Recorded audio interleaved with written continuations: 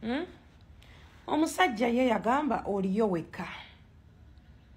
Naye oli mu ssimu y'omusajja weefulukuta tosobola nakwebaka omumiro gwonna n'omudooka oli gukusongodde olw'okuba oyagala kulaba passwadi ya musajja.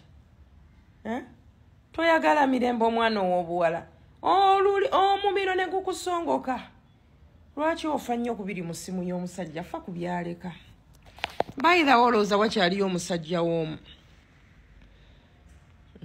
musajja w'omu nno bitera kuba nno mubaavu n'abaavu nno nga nabo si mmere. Omwavu nno omwenzi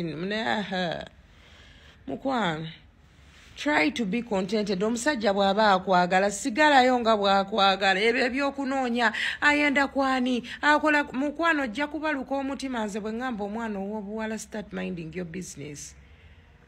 Bw'akomawo ng'omugulira bw'aba takomyewo kalli walli nga weebaka n'abaana weebika oyiwayo akagirasi ka wayini noweebika omwana ow'obuwala omanyi temuwulira. Ani akugambye mbuwe stress nga omusajja ng'akyuka? Kati kankubuulire batabani ba falawo tebakyukira ku pulesa akyuka yekka ate bw'aba afunye omugole tafugika. Omusajja bw'aba alina omugole tafugika manyi nze mbagamba temuwulira.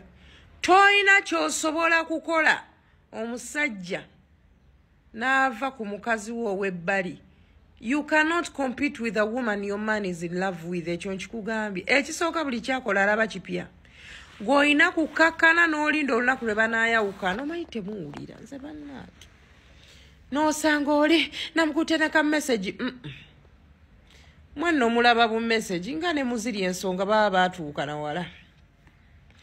Gweoli eno oyomba n'omumiro gukwebikudde omwana ow'obuwala ng'ayaniriza bbaawo kajuisi n'amukandazi masaji n'amukola by'otamukolangako oleega ekipale ky'omwana ku mutwe ky'osiiba ozunga nakyo ne guppeti n'olyoka weeyiwamu guddira n'otagaza amabeere empaka eno. N'owunya omwana ow'obuwa omanyi temuwulira.